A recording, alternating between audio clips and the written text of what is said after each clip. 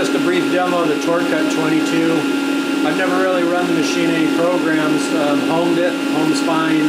I've jogged it, uh, all three axes. I can run the spindle up and down. It does have the uh, transmission in it, and it's uh, 7,500 RPM. The thing about the transmissions, you got to warm up that spindle before you uh, uh, start using the machine so that it shifts properly. Uh, I believe under 2,000 RPM it shifts into low gear. So uh, let me demonstrate the machine running. Okay, run MDI. I'm going to start the spindle. M3S2000. There it's shifting.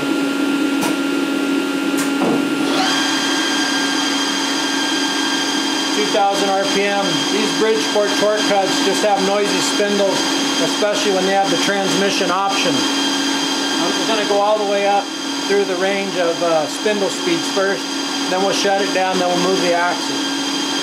That's 2,000.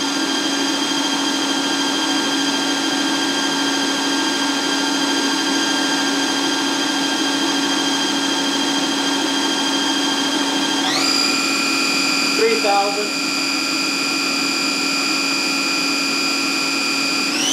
Four thousand. That's five thousand.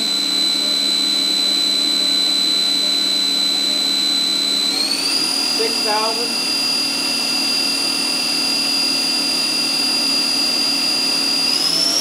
That's seven thousand.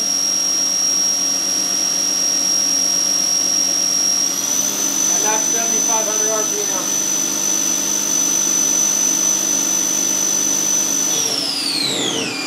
That's back to three thousand.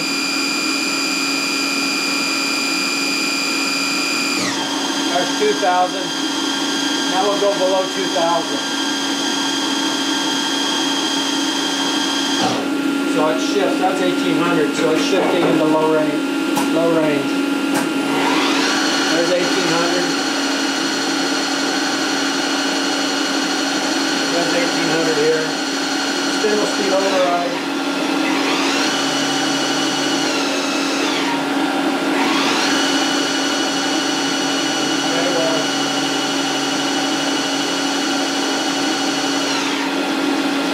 Thousand RPM. There's 500 RPM. We're going to stop it.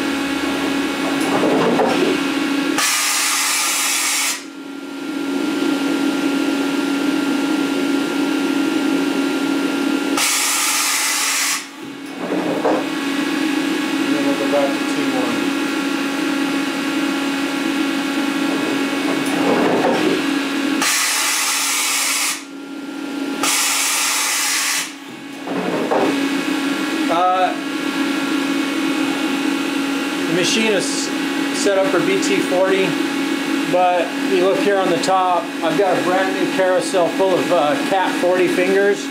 Uh, and it just so happens that the uh, spindle nose uses the same um, studs as Haas. So uh, it wouldn't be much to switch it over to Cat 40 if you wanted to.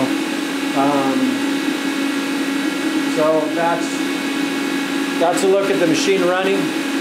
Um, I'll uh, I'll shut it down, take it back to the cabinet. It's been unmolested.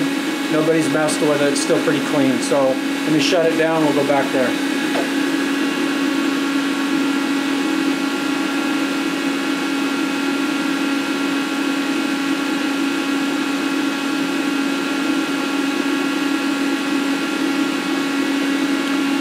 It's pretty tight quarters, so I'm going to go handheld. There's a quick look on the inside of the cabinet. Spindle, carousel. It's pretty dark. Um, the plastic on the doors needs to be replaced. That one's missing altogether. I have the handle. And that one's cracked. Um, the door's not terrible, but it's been uh, broken right there. The door over interlock has been, been defeated. Here's a look from the, uh, the left side of the machine. I also have the new uh, Z-axis way cover and I have new seals for the Teleflex um, telescopic uh, cover on the Y.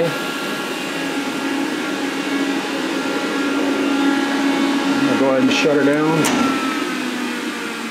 Uh, it does have a coolant pump. It's uh, single phase. And then here's the inside of the cabinet. Uh, it is running, this, this Yaskawa spindle drive will run single phase and it is currently running single phase in my shop. Um, you'll see I've got a jumper uh, over there so it'll run single phase. So it's a 220 single phase. Uh, I have it on a 30 amp circuit. This will run in a shop. It uses a standard uh, Windows, I'm sorry, it uses a standard PC. Um, there's the PC right there. Uh, hard disk is down in there.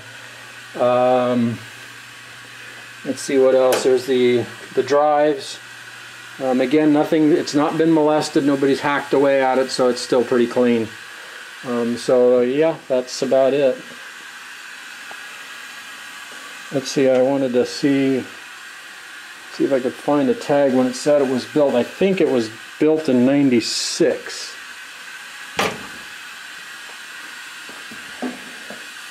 Yeah, I don't see the sticker that says it's born on date. It's got a lube pump and so forth. And there's a look from the uh, right side of the machine.